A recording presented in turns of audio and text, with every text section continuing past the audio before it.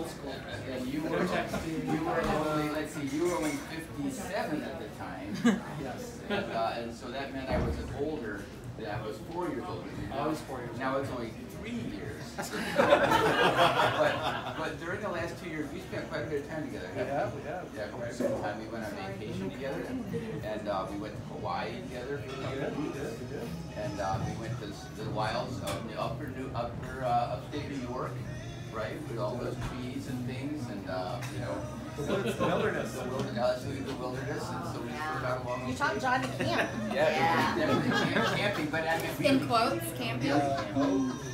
So, um, anyway, so now you're having your party birthday, and I have a special birthday card for you, because this is something very special for me, to you, and I want you to open it right now.